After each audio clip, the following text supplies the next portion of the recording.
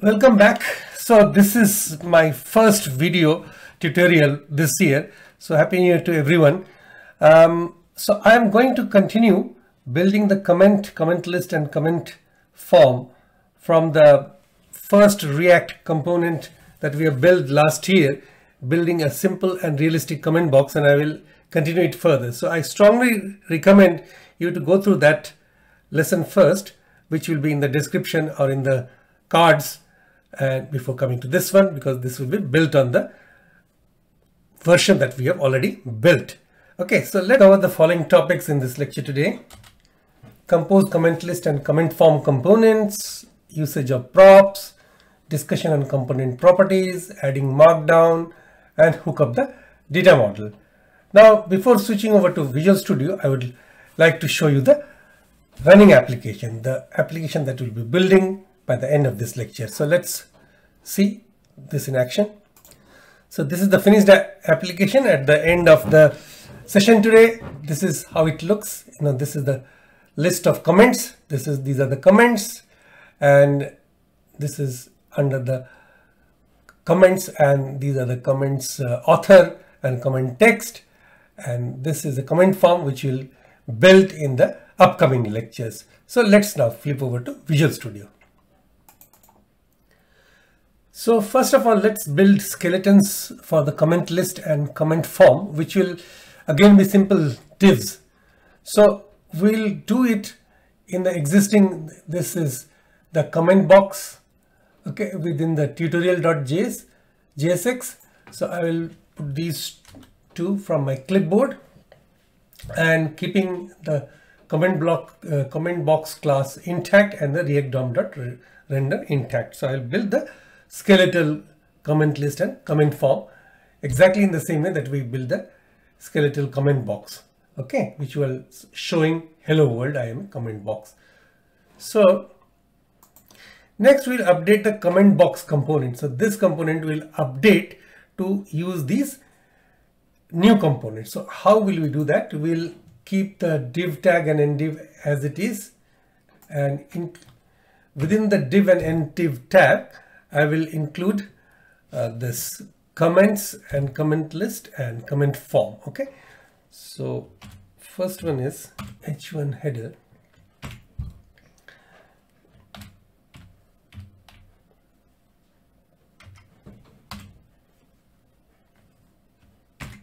So within this, there will be comments that is just a HTML header. I still have to build the comments component and below the h1 header and tag we will put the comment list and comment form. Exactly just like a HTML tag. Comment list.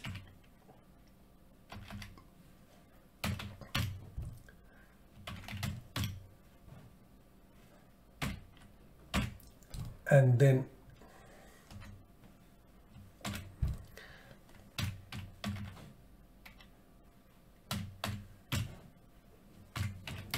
comment form. And then save it. And indent it a little bit to bring it below. Now notice that we are making mixing HTML tags and components. So this is HTML tags and this is these are two components comment list and comment form. Comment list and comment form. We are mixing the two uh, HTML tags and the components. HTML tags are React component just like the ones we define, but they have one difference. The JavaScript compiler will automatically rewrite HTML tags to react.create element within brackets tag name expressions and leave the everything else alone. This is to prevent the pollution of the global namespace. Now we will create the comment component which will depend on the data passed in from the comment list component. So comment list contains the child comments. Okay, comment list is a parent. So data passed in from the comment list component is available as property on our comment component. So let's do that first. So I have just put it on my clipboard. So I'll paste it over here, class comment, just above the comment list and then save it. So this uses the props. So what are props? Props are the properties. So these properties are accessed through this dot props. So using so this dot props dot author and this dot props dot children. So using props, we'll be able to read the data passed into the comment from the comment list and also render some markup. And by surrounding it with JavaScript expression with braces inside the JSX file, okay, we can drop text or React components into the tree. We access named attributes passed to the component as keys on this dot props and any nested elements as this dot props dot children. So now that we have defined the comment component, we want to pass it the author name and the comment text. Okay. So this allows us to reuse the same code for each unique comment. Now let's add some comments within our comment list. So because comment list is actually going to feed, this is the parent for the comment. So this will, let's put a few comment list also. So I have just got it on the clipboard to save a lot of time and I'll paste it over here within the div class name comment list. So this will be comment author Daniel Lo Nigro hello react js.net comment author and this comment text. Comment author comment text. Comment author comment text. Okay we'll come to this asterisk before and after another in a bit. So now that we have passed some data from the parent comment list. Now this, this is the parent comment list to the child comment. Now remember, let's revisit the slideshow. Now to recall, we have the following component structure again that we have learned in the first part or the first lecture. You know, this is the comment box on the top. This is the comment box which we are building, which has got comment list as a parent, which has got some comments or comment and then comment form and comment form and comment list are on the same level and comment box is the parent of everything. Right, so let's switch over to Visual Studio again. Now look at this, you know, we have got this comment author, Daniel Lo Nigro, and this comment author is passed via the author attribute, this dot props dot author. And this uh, the text hello react js.net like the xml child node to the first comment okay? As the first comment this dot props dot children.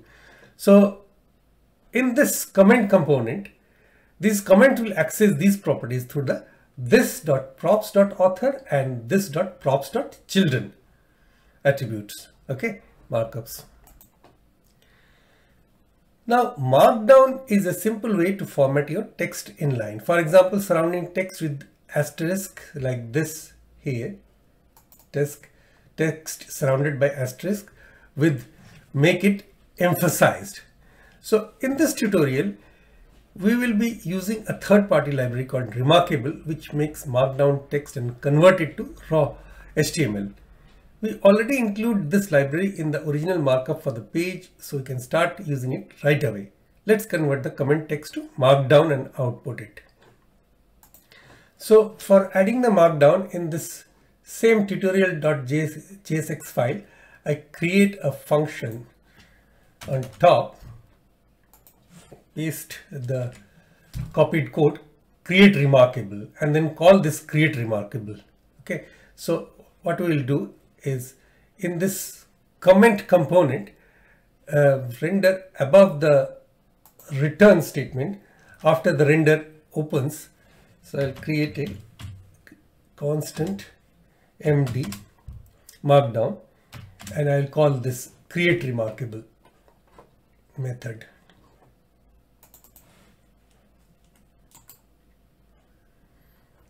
This copy it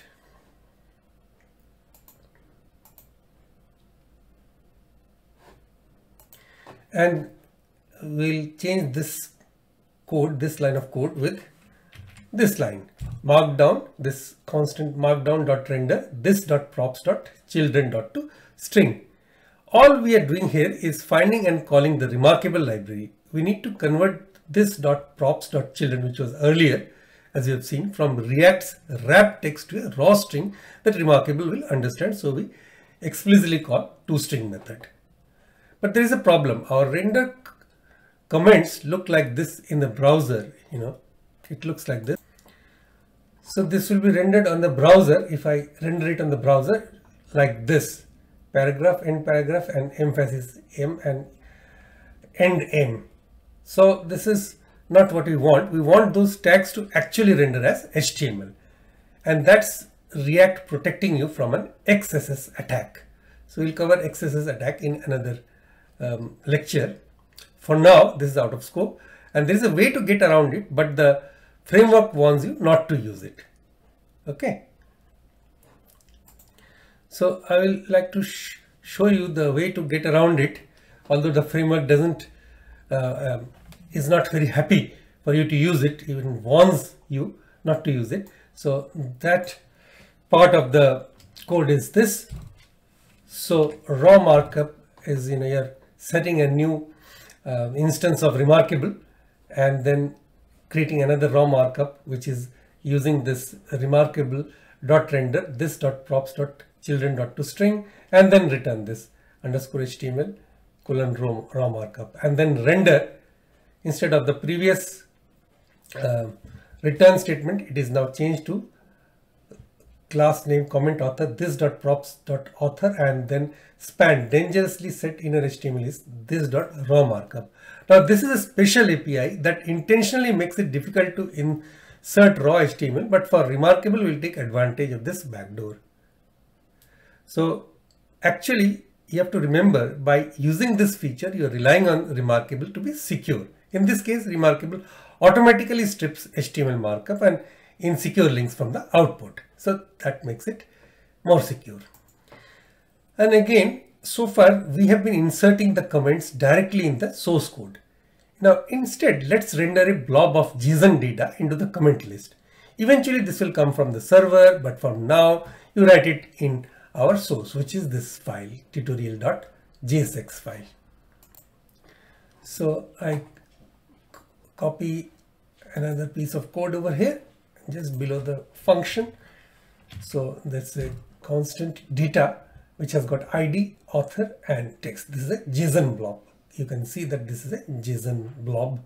You can see and then we need to get this data into the comment list, you know, into the comment list in a modular way. So we have to modify the comment box and the react dom.render call to pass this data into the comment list via props. Like this.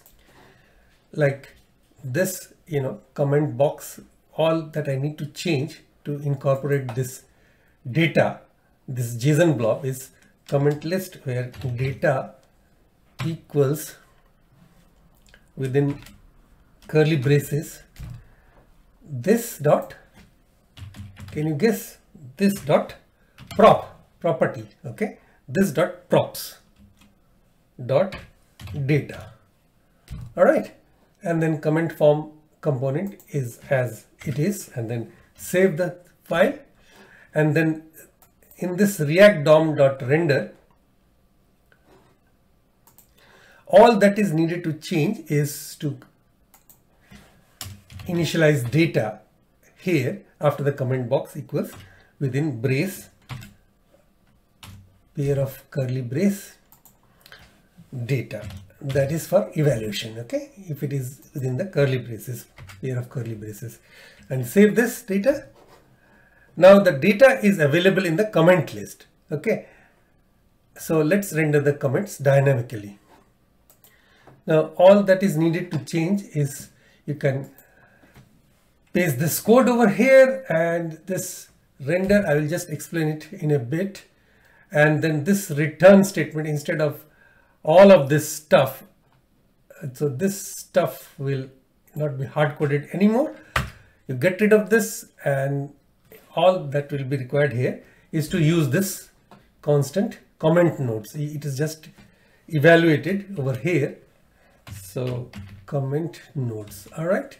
So comment nodes and end div and close this uh, bracket and semicolon and these two and curly braces.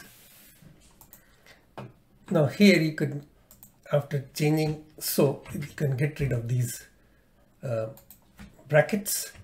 So you can simply write return and div, just intended a bit div class name comment list and within the this div node you have got this comment nodes which comes from here and then this semicolon you can put it up and then get rid of this. Now this comment nodes is a constant. Now you already know what is the props this is the properties and then this is using this data this blob. Okay so data blob over here that we have built JSON data and then it is mapping and then it is creating a comment variable which points to comment. This is the comment node where the author is comment.author with a key comment.id and ID and author are coming from this JSON blob.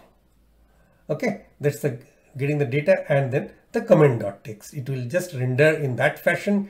So comments author and comments ID and comments text. And that's it. I have started the application by clicking this IIS Express link and this is my final finished product. So comments, Daniel Lo Nigro, hello react.js.net. So this is the comment author, this is the comment text, comment author, comment text, comment author, comment text. So I've been able to successfully build a comments with a comment list and a comment form. So there we are. This is our finished product for now. And in the next lecture, whenever that is, I will be giving the getting the data from actual controller from the server side. Okay. So see you